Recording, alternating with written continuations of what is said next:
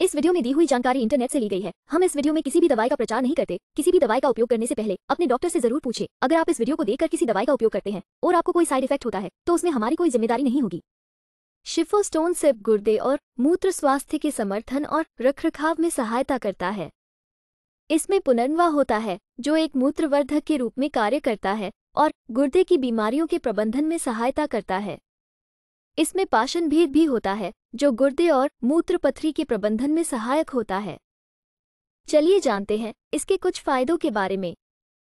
एक, शिफोस्टोन सिर्फ़ गुर्दे और मूत्र स्वास्थ्य को सहारा देने और बनाए रखने के लिए फ़ायदेमंद है। दो, इसमें पाचन भेद होता है, जो गुर्दे और मूत्र पथरी और संबंधित मुद्दों के प्रबंधन में सहायता करता है। तीन इसमें पुनर्वा भी होता है, जो मूत्रवर्धक के रूप में कार्य करता है और किडनी विकारों के प्रबंधन में मदद करता है। वीडियो को पूरा देखने के लिए धन्यवाद। अगर आपको वीडियो अच्छी लगी हो तो वीडियो को ज़रूर लाइक करें। साथ ही हमारे चैनल को सब्सक्राइब करके नोटिफिकेशन बेल को और नोटिफिकेशन पर सेट करें।